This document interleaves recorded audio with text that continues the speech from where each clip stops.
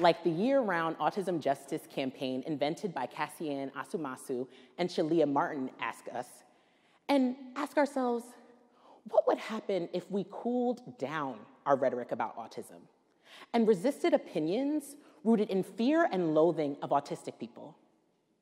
What would we learn about autistics, and how would it change the way that autistic people are treated?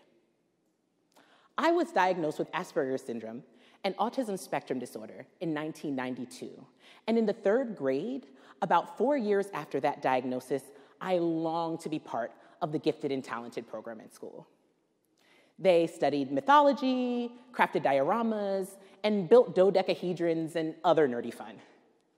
I longed to sculpt paper mache whatevers and build doohickeys, but instead, I had to attend what was unceremoniously called anger management. Once a week, I would sit with a child psychologist responsible for teaching me what to do when I felt overwhelmed. Mostly, we just read the book Don't Feed the Monster on Tuesdays. At the end of each session, she would point to a chart of faces and challenge me to identify how each face was feeling. Eventually, I memorized the correct responses. Trying hard to be the holistic child everyone seemed to think I should become. As I got older, I internalized this enforced separation and what I felt it signified about me. The other children, the ones who frolicked in the halls and built dodecahedrons, those were the good kids. I was the monster, out of control, isolated, and mysterious. School existed as a place for me to be fixed. But there was another way, guided in the wisdom of actual autistic people and able to cope with the real challenges that autistic people face without succumbing to pathologizing rhetoric about autism. What I wanted then and what I want now is autism neutrality.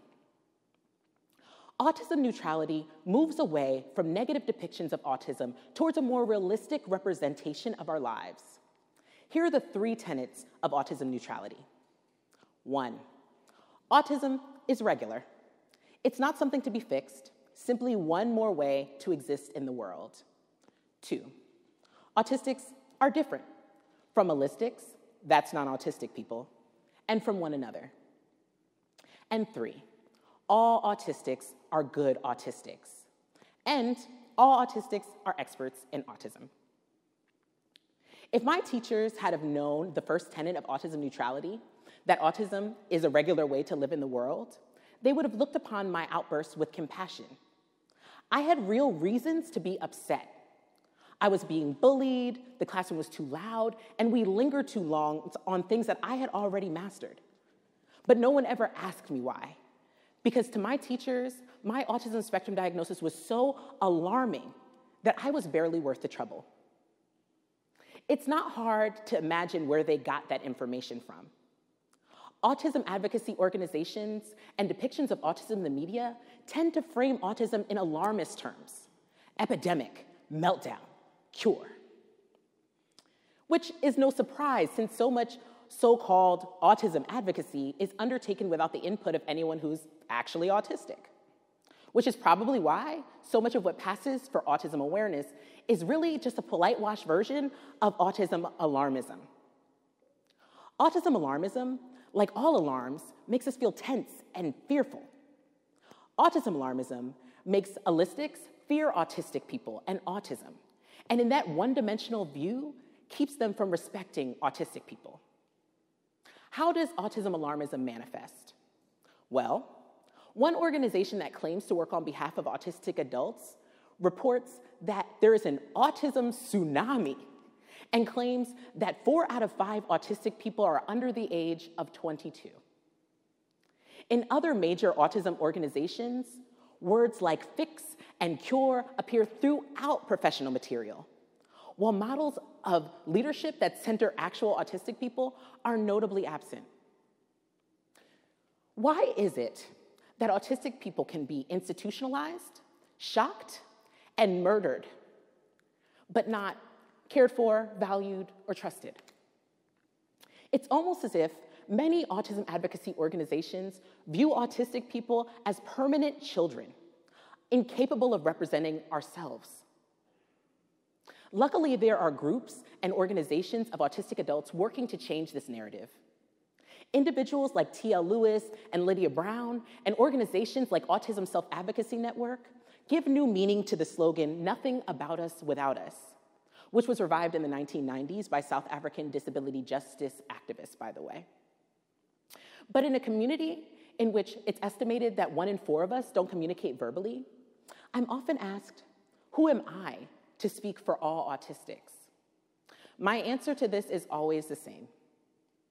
If the choice is an autistic person who has succeeded despite being challenged by an autism spectrum diagnosis, and a parent who has never had to personally grapple with autism in their own lives, the autistic is the best choice. And that's the second tenet of autism neutrality. All autistics are different. That doesn't mean that some of us are autistic and some of us aren't. And it's why the autistics say if you've met one autistic, you've met one autistic. Still, there are real differences in power and privilege between autistics who are considered gifted or twice exceptional and those diagnosed with intellectual disabilities or forced into institutions such as prisons and hospitals. Autistic activists must listen and support the leadership of autistics with intellectual disabilities and people who want a cure, and autistics who just don't love being autistic all the time. And that illustrates the third tenet of autism neutrality. All autistics are experts on autism.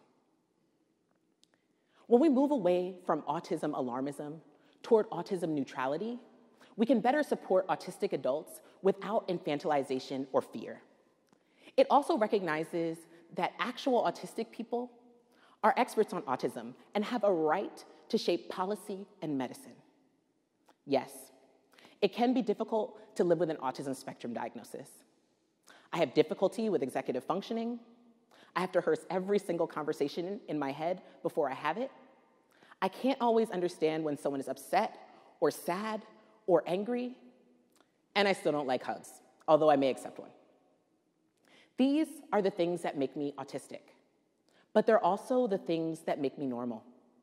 We all have strengths and weaknesses. Autism neutrality helps us excavate those differences from the pile of anti autism fear and panic that colors mainstream representations of autism.